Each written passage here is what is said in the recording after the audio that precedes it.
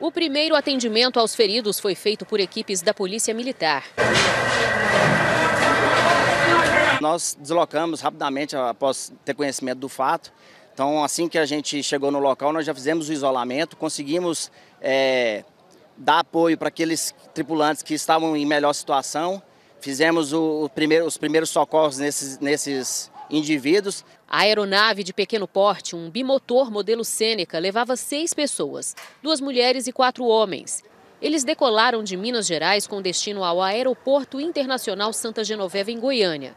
Mas pouco antes das 5 horas da tarde, o piloto manteve contato com a torre do Aeródromo de Goiânia, informando que precisava fazer um pouso de emergência. Ao que tudo indica por causa de uma pane.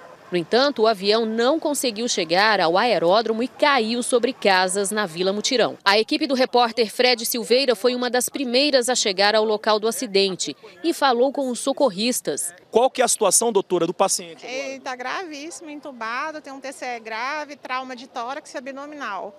A gente conseguiu fazer duas drenagens torácicas bilateral nele e agora ele está sendo encaminhado para o golpe. As seis vítimas foram levadas para o Hospital de Urgências de Goiânia, duas delas em estado gravíssimo.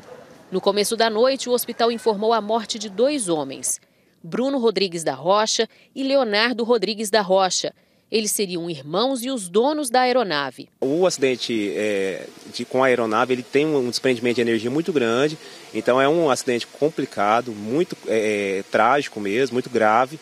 E as nossas equipes trabalharam com a maior agilidade possível para retirar essas vítimas e levá-las para o hospital, que é o local do suporte avançado para tentar garantir uma sobrevida para essas pessoas. Felizmente, ninguém ficou ferido nos imóveis atingidos. Olha, a gente está aqui bem ao lado da aeronave, a aeronave que atingiu aqui três imóveis, né? Os fundos de uma igreja, o quintal de uma casa aqui, um sobrado e também a parte do depósito de um mini mercado que fica aqui nesse bairro, na região noroeste de Goiânia. Estou aqui do lado do seu Oswaldo, esse terreno pertence à família há mais de 20 anos. Nessa parte aqui onde nós estamos, ele está fazendo uma construção. Ali do lado, os filhos, né, tem uma residência. Seu Oswaldo, 20 anos aqui, está na região do aeródromo. O senhor já teve alguma preocupação com alguma queda de avião?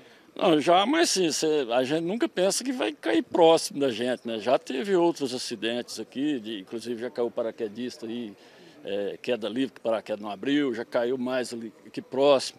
Sempre tem ocorrência, mas você não imagina que vai cair tão próximo, né? Você estava aqui na hora? Tava tirando o carro aqui, nessa, aqui do lado aqui, que meu carro tá naquela garagem ali, né? tirando para buscar meu menininho de 7 anos na escola, né? E o barulho muito forte, mas muito forte, sabe?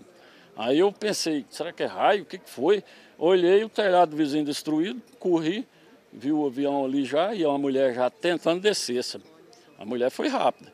E eu já falei, desce rápido que pode pegar fogo. Né? E aqui a gente vê que bem no fundo tem esses botijões de gás aí, não sei se poderia ter sido um risco caso a aeronave atingisse. Uma grande felicidade que ninguém que estava nos imóveis foi atingido.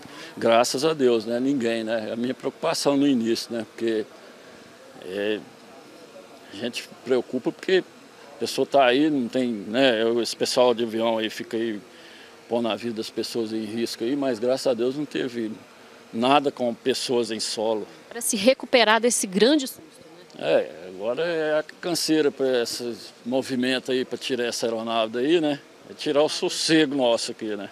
Os bombeiros usaram um caminhão-pipa para resfriar a aeronave e evitar o risco de explosão.